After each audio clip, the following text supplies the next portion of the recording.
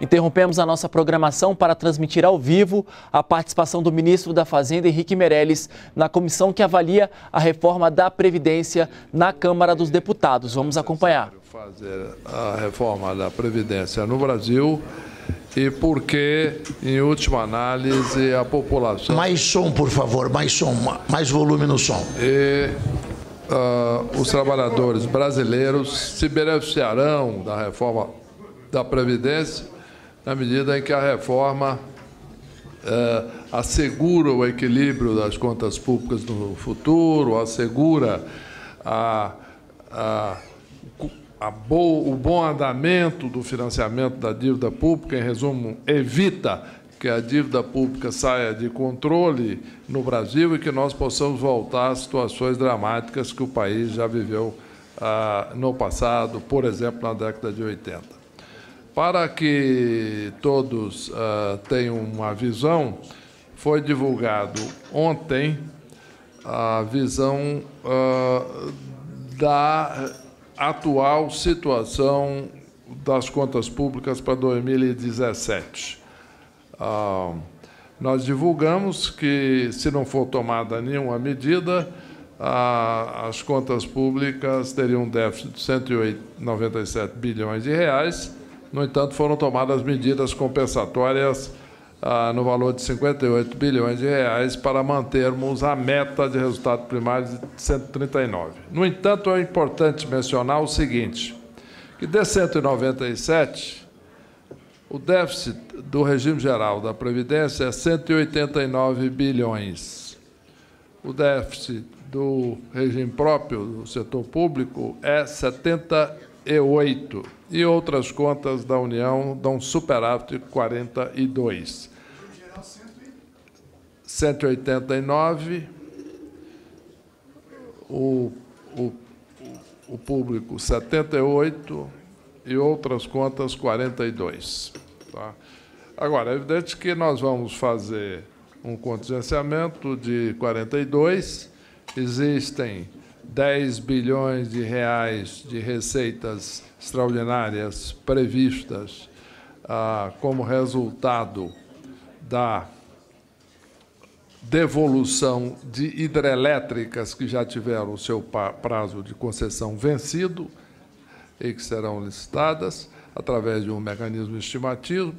Além do mais, fizemos a reoneração de folha de pagamento de um, da grande maioria dos setores, por duas razões. A primeira delas, visando exatamente reforçar o financiamento da Previdência Social, ah, existia já uma demanda ah, das centrais e etc., reclamando exatamente que nós estamos fazendo a reforma da Previdência, mas existia ainda essas desonerações.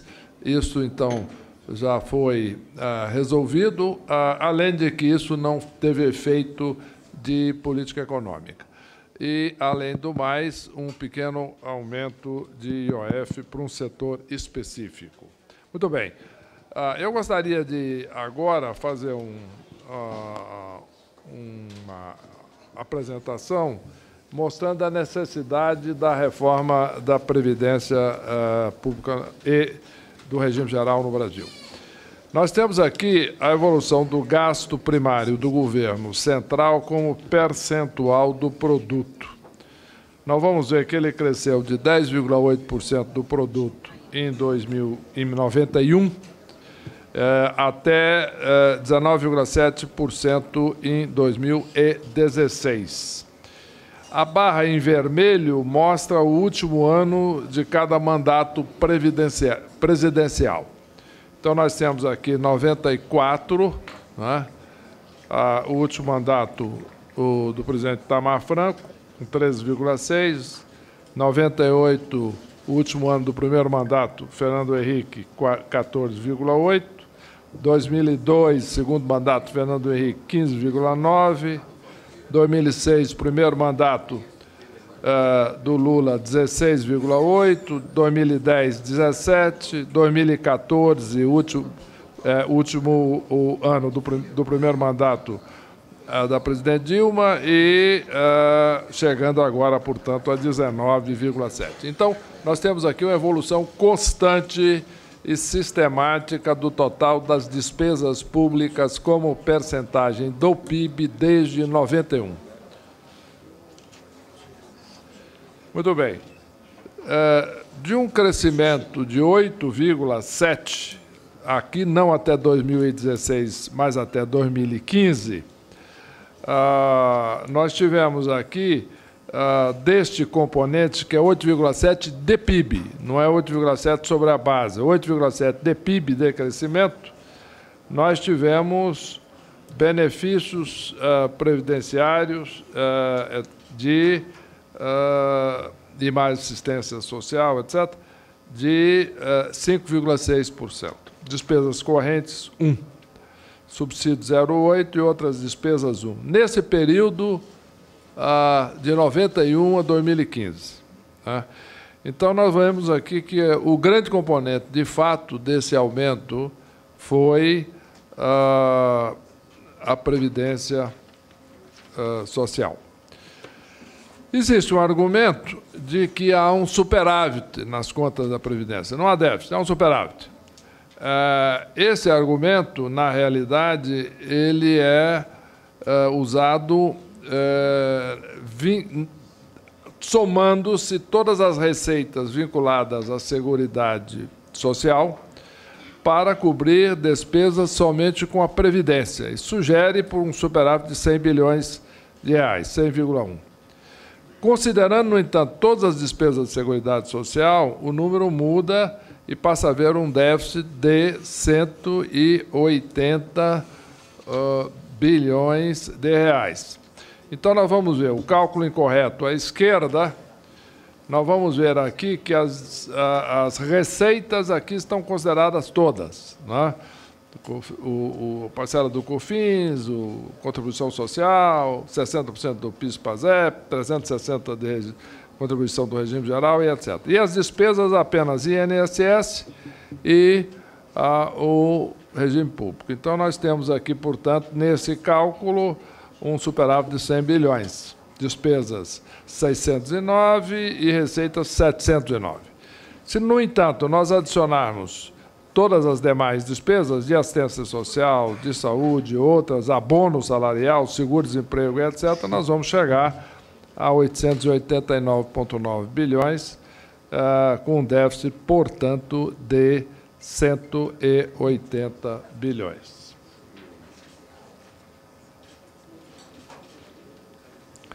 O resultado agora da Previdência Rural, vamos falar sobre isso. Uh, ele é estruturalmente negativo, é? o que uh, contribui fortemente para a necessidade de financiamento do regime geral sobretudo no momento em que a Previdência Urbana reduziu o superávit e, na realidade, em 2016 já mostra um déficit. Nós temos aqui, por exemplo, se uh, compararmos a partir de 2002, olhando apenas a rural, a rural, a Previdência Rural aqui em vermelho, né, mostrando aí. É, nós temos 14,7 bilhões de déficit da Previdência Rural em 2002 evoluindo para 103 bilhões de reais de déficit em 2016. A Previdência Urbana tinha um déficit, passou, a partir de 2008, um pequeno superávit, ah, eh, chegou a um máximo aí de 25 em 2014, depois foi caindo, em 2016 teve aqui um déficit de 46,3 bilhões de reais, totalizando, portanto, um déficit de 150 uh, bilhões de reais no ano de 2016. Se nós olharmos agora apenas a Seguridade Social, uh, o déficit é maior do que o da Previdência. E pior do que isso é a trajetória em 16, a necessidade de financiamento da Seguridade Social aumentou 92 bilhões de reais, apenas em 16, alcançando 258,7 bilhões de reais. Portanto, para que possamos continuar, de fato, investindo em saúde, educação, nós precisamos estabilizar a despesa da Previdência. Isto é absolutamente crucial. Nós vemos aqui a evolução do déficit da Seguridade Social, inclusive com o DRU. Nós vamos aqui de 2003 de 27,2 para 2016, 258,7. Vamos olhar agora um dado interessante, importante, uh, referente à uh, a questão dos gastos da Previdência comparado com a idade média da população. Eu vou, eu vou uh, mostrar ali no quadro né, como o que demonstra esta projeção. Nós temos aqui ah, medido o gasto público com previdência né, do governo federal como percentagem do PIB. No Brasil, ele é cerca de 13% do PIB. Ah, valores substancialmente superiores à média de países emergentes, etc como percentagem do produto, ele é similar a países tipo França e Alemanha, né? que são países já amadurecidos, etc., e que têm, eu vou mostrar, uma população de mais idade. E superior ao Japão. Né? Então, o que o Brasil gasta como percentual do produto com previdência é similar àqueles países ah, europeus e superior ao Japão. Aqui mede a chamada razão da dependência, de dependência. O que é a razão de dependência? População acima de 65 anos de idade, 65 ou mais, ah, comparado com a população é, com idade entre 20 e 64 anos. Né? Nós vamos ver aqui, portanto, que quanto mais avançado está nesta curva, maior o percentual de pessoas que têm 65 anos de idade ou mais e, portanto, estão aposentadas. Né? E se nós olharmos aqui o Japão, por exemplo, né? o Japão, cerca aqui de 47% é o número dividindo-se pessoas de 65 ou mais sobre abaixo de 65. Enzo, tem é, quase metade do número de pessoas em idade ativa ah, já com 65 anos de idade ou mais, portanto, na maioria aposentados. Apesar disso, apesar da população, portanto, no Japão, em média, ser substancialmente ah, mais velha do que no Brasil, em média, a tendência da população, o número de pessoas acima de 65 anos é muito grande, há cerca de um terço da população total, metade do número daqueles abaixo de 65, o Japão tem uma despesa de previdência com percentagem do produto menor do que o Brasil.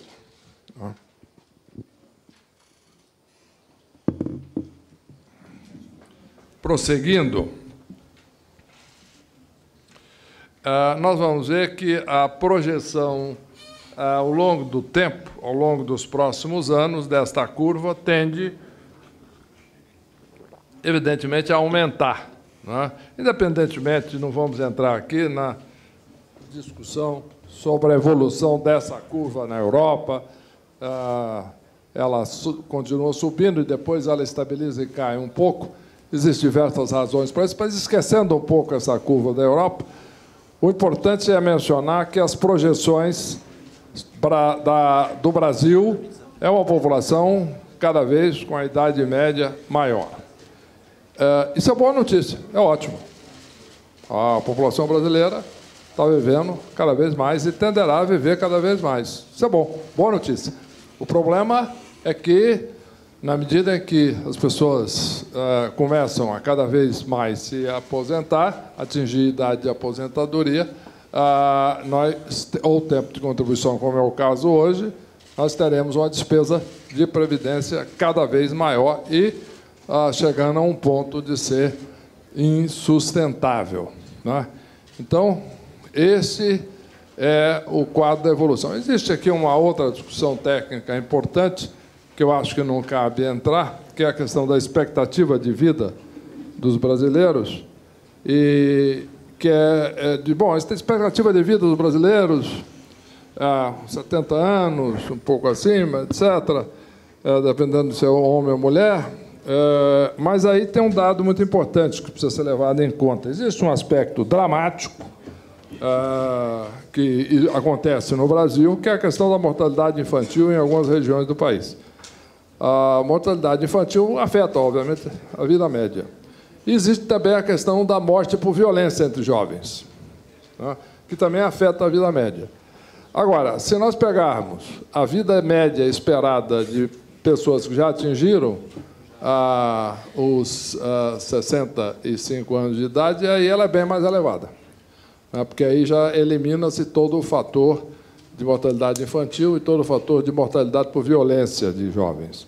Com isso, a chamada sobrevida após a aposentadoria está crescendo cada vez mais no Brasil. Né? Ah, já no caso de mulheres, por exemplo, atingindo cerca de 20 anos, é, homens um pouco menos, mas, de qualquer maneira, cada vez mais subindo ah, essa chamada sobrevida após a aposentadoria. O que aumenta, obviamente, o gasto com a Previdência. Vamos supor que não se faça nada. Tá bom, tudo bem. É, vamos deixar assim. E é, a Previdência brasileira, claramente, é uma Previdência é, que é, muitos consideram generosa e, tem, e que deve ser assim, etc. Discute-se questão de justiça, muito bem, tem que se manter, etc. Perfeitamente, vamos supor que se mantenha. Está ótimo. É, o problema é que os gastos dos benefícios previdenciários do INSS, por exemplo, era 3,3% do produto do PIB em 91. Em 2016 foi 8,1% do PIB. A previsão para daqui a 40 anos é 17,2% uh, do PIB. Portanto, crescendo 9% de PIB uh, nesse período o que claramente não é sustentável pela sociedade brasileira. Eu estou apenas mencionando números que mostram exatamente a trajetória das contas da Previdência. Né? A Previdência é benefício previdenciário do INSS. Tá certo? É isso. Muito bem. É, para termos aqui absoluta segurança que nós estamos falando. Muito bem. Qual é o problema de não fazer nada? Não vai haver espaço no teto dos gastos. Isto é, é em verde, o regime geral e o regime próprio. Né? E em verde claro, o benefício de prestação continuada, BPC LOAS. Né?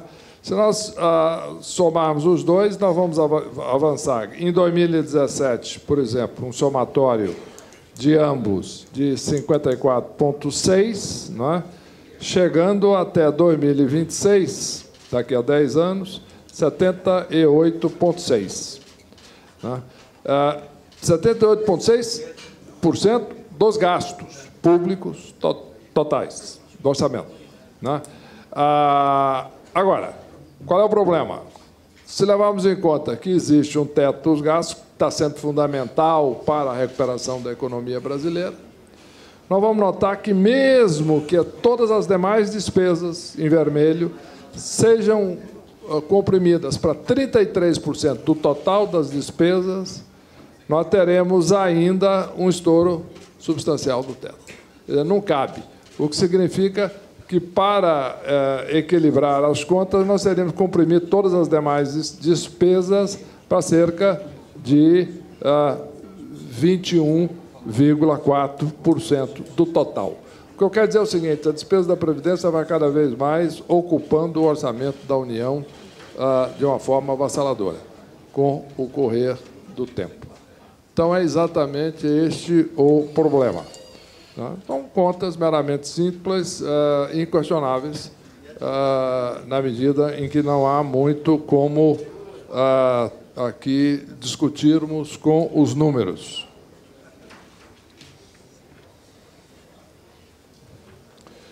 Com a reforma, haverá sim espaço para as demais despesas, inclusive outros gastos sociais. Né?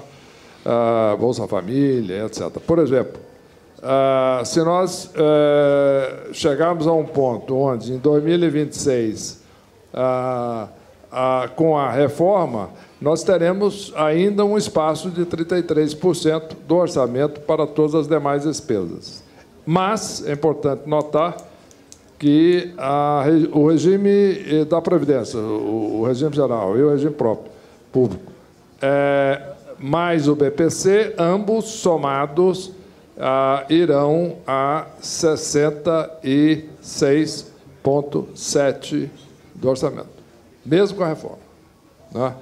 E o restante das despesas é 33%. Mas, pelo menos, é, existe ainda 33% do orçamento para todas as demais despesas. É, ao passo que, se não fizer a reforma, terá, teria que ser 20%, o que já começa a ser uh, absolutamente uh, inviável. Vamos falar agora sobre taxa de reposição. Não é isso? Vou mostrar aqui.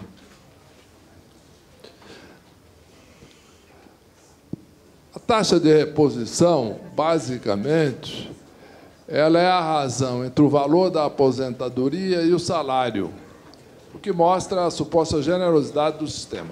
No Brasil é 76%, isto é, a média é, das aposentadorias são, em média, 76% do valor do salário das pessoas que se aposentaram. Então, aqui é o Brasil.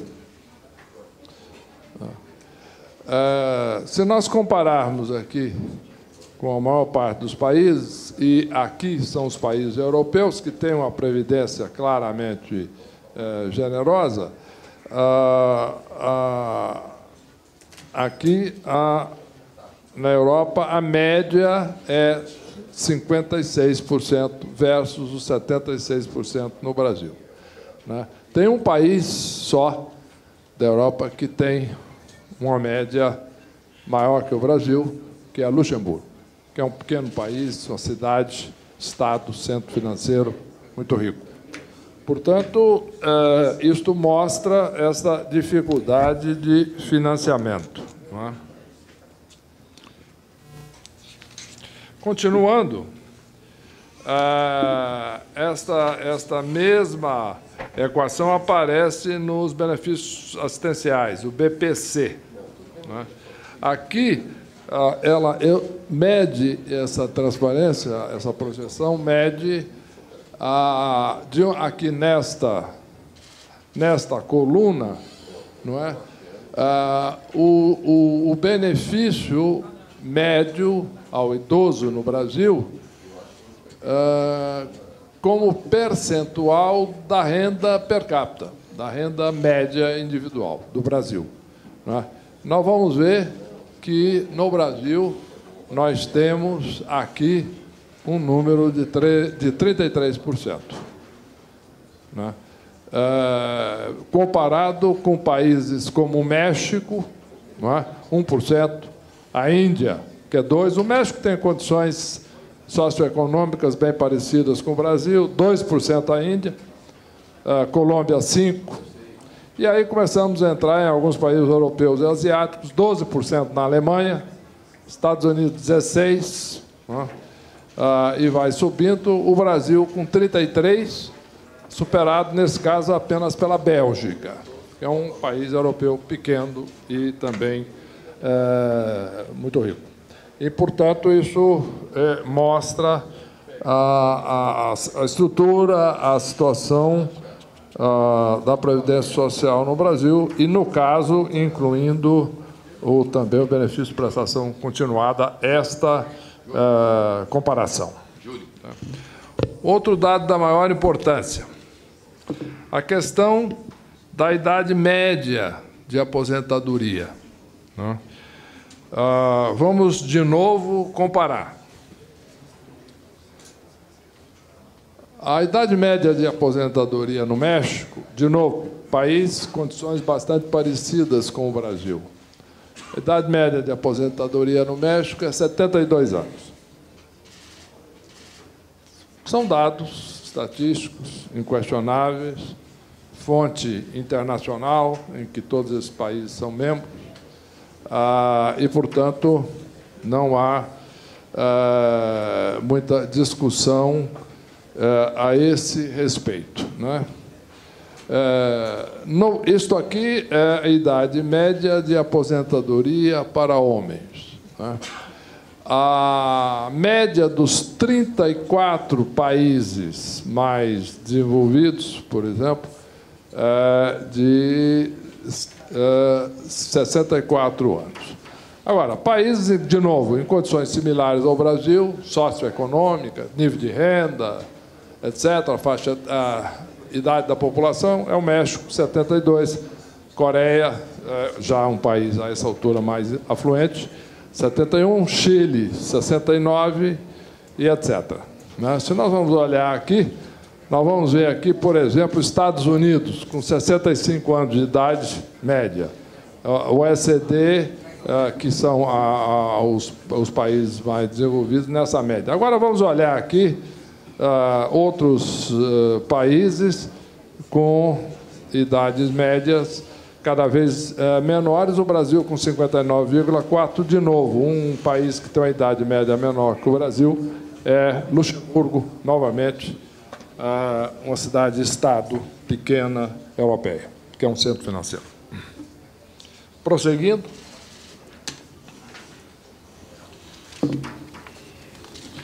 Esse, este gráfico é um pouco complicado, eu não vou elaborar muito sobre ele, eu vou dar apenas as conclusões. É, é um estudo que mostra internacional o seguinte: evidentemente, quanto maior o comprometimento das despesas públicas com previdência ao longo dos anos, é, maior a taxa de juros que prevalece na economia. Por quê? Porque é uma questão é, de pressão do gasto público. Evidentemente, isso é de, varia de país para país. Aqui é um dado é, referente à experiência do Brasil. Não vou entrar na discussão desse gráfico, de fato, ele é bastante complicado, mas é, apenas é importante mencionar. Quer dizer, é, no momento em que nós apresentamos e foi aprovado pelo Congresso, pelos senhores, a, a PEC do teto, na medida que está sendo discutida a reforma da Previdência, na medida que está avançando, estão avançando outros projetos importantes, taxa de juros está caindo no Brasil. É? E a inflação está caindo. Isso é fundamental, porque isso vai permitir o país crescer mais, gerar mais emprego. Nós saímos da maior recessão da história do Brasil.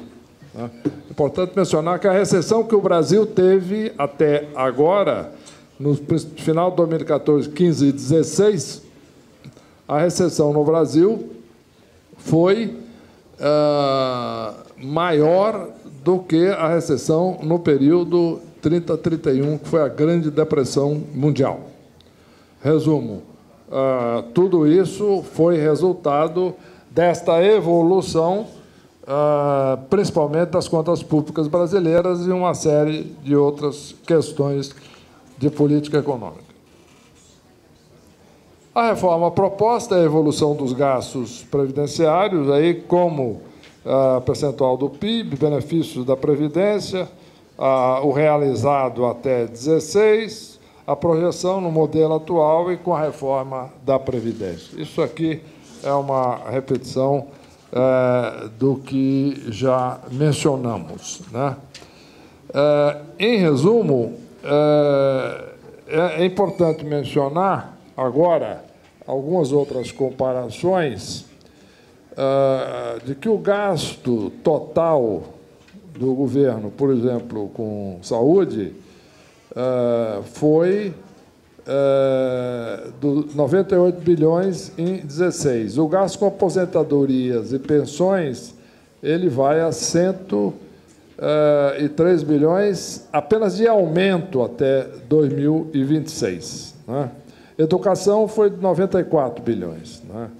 A soma de todas as despesas federais, com Força Armada, 62 bilhões, Segurança Pública, 9, Gestão Ambiental, 6, Ciência e Tecnologia, 7, Cultura, Esporte, Lazer, 3,3, e ainda ficou faltando 25 bilhões para fechar a conta.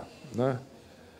É, Previdência e BPC já representam 52% hoje eh, das despesas primárias e irão atingir 64%, como eu já mostrei eh, em, há algum tempo, não é? Eh, em 10 anos. É? O Brasil, portanto, como também já ficou claro, terá que elevar a carga tributária em quase 10% do PIB ah, nas próximas décadas apenas para financiar o aumento do déficit da Previdência. Né? Um outro dado da maior importância é que se diz que a, idade mínima eh, ela pode prejudicar, as camadas mais pobres, de menor rendimento eh, da população. Não é? não é isso é, que se constata no seguinte aspecto.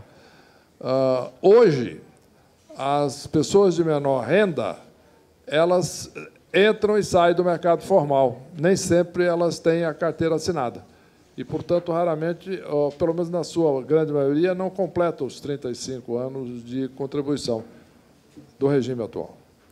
E elas, portanto, se aposentam por idade, hoje. A, classe média é, são aqueles que tendem a se aposentar por tempo de contribuição e, portanto, se aposentar mais cedo. Né? Uh, não só o servidor público, mas no geral. Os, os, de menor renda tendem a se aposentar por idade, porque eles não completam 35 anos com carteira assinada. Essa é uma realidade do mercado hoje.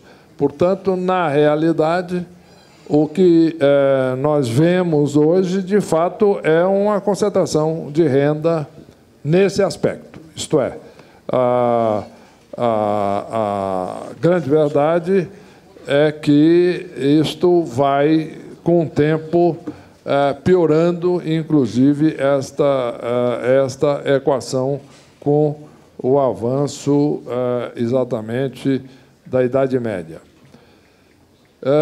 Se a reforma da Previdência ataca justamente os principais fatores que geram a concentração de renda, que é o problema da aposentadoria, alta concentração dos valores de aposentadoria e pensões para o servidor público, por exemplo, na medida que a partir daí será um regime único, reajuste de aposentadoria é, dos, e pensões dos servidores públicos por índices superiores à, à inflação, aposentadoria de idade jovem por tempo de contribuição, se concentra muito no servidor público, como eu mencionei, nos trabalhadores de maior renda do setor privado. Né? É, então, o, o, o único fator redistributivo das regras atuais, importantes, é, é a vinculação do benefício básico ao salário mínimo. Sim. Só que será mantido caso seja aprovada a atual proposta. Né? Se mantém ah, o benefício básico vinculado ao salário mínimo. Né? Eu quero mencionar outro dado, que no momento em que nós façamos a conversão da aposentadoria dos servidores públicos com os trabalhadores da iniciativa privada, nós vamos reduzir fortemente a desigualdade. Né? É, se nós é, compararmos, por exemplo, a despesa média por aposentado do Serviço Público Federal versus valores mínimo e máximo dos benefícios do regime geral, dando um número, do Legislativo, 28 mil reais, ah, 593, ah, Judiciário, ah, 22, Ministério Público, 18, Executivo, 7, e o regime geral, teto, é 5.190. E, ah, em resumo, e no regime geral, 66% dos benefícios são pelo salário mínimo, que significa 880 reais. Em resumo, a reforma faz a aposentadoria toda convergir para as regras do setor privado, e isso é fundamental para a restauração de novo, de uma melhor distribuição. Em resumo, o, o que eu gostaria de dizer é o seguinte: ah, alguns me perguntam, ah, mas, na sua opinião, não é melhor, não deveríamos ah, per permitir que os brasileiros se aposentassem mais cedo, cada vez mais, etc? Digo perfeitamente, não tem dúvida. Dependesse, acredito todos nós poderiam todos se aposentar numa idade bastante jovem, mais, mais jovem possível. O problema é que a sociedade brasileira tem que pagar isso. Né? Então, existe uma questão aqui de sustentabilidade é, do regime. Quer dizer, como eu mostrei, as despesas públicas passam a cada vez mais ser mais ocupadas ah, pela aposentadoria, e isto não é, de fato, sustentável ao longo do tempo. Uh, em resumo, este é o quadro geral que eu uh, gostaria de mencionar. Evidentemente, me colocar à disposição das senhoras e dos senhores para discutir, ouvir as opiniões, ouvir as sugestões, com, com todo o respeito, e também uh, responder a perguntas e etc. Porque nós estamos colocando aqui uma questão da sociedade brasileira, não é uma questão de opinião. Ó, vamos fazer porque achamos que. Não, os números falam por si só. Né? Eles são inequívocos e são avassaladores. Né? É, por um fator muito positivo, isto é, a sociedade brasileira cada vez tem uma vida média maior. E isso é bom. Isto é positivo. Ah, não há dúvida. Agora, uh, isto faz com que a vida após, o tempo de vida após a aposentadoria seja cada vez maior, e isto cada vez mais pesa nas contas públicas. Portanto, uh, ontem nós mostramos claramente esta, esta realidade. Evitamos ontem, no anúncio da, das medidas compensatórias para equilibrar o orçamento público que, ah, de fato, nós temos que tomar medidas de contenção de despesas duras. Né? Estamos fazendo um contingenciamento de 42 bilhões de reais para evitar uma continuada a, a trajetória uh, incontrolável de crescimento uh, do déficit e dos gastos públicos. Uh, procuramos evitar exatamente a tributação é, principalmente dos setores de menor renda da sociedade, tributações gerais, seja o que tem impacto na inflação, como o CID, por exemplo, seja transação de, de, de CPMF, por exemplo, com, com, com impacto geral para toda a sociedade, todos pagam impostos regressivos e etc.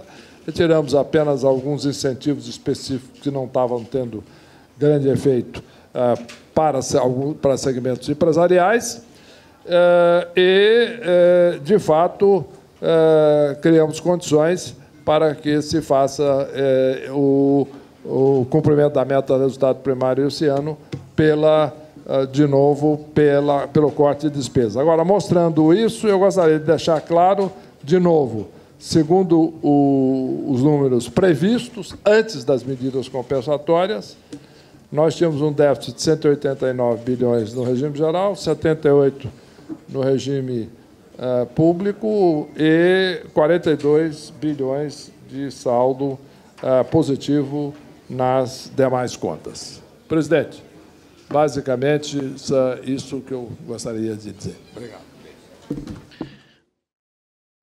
Nós acompanhamos ao vivo a participação do ministro da Fazenda, Henrique Meirelles, na comissão que avalia a reforma da Previdência na Câmara dos Deputados. Nós vamos seguir acompanhando esse assunto e todas as informações você acompanha aqui na NBR, a TV do Governo Federal.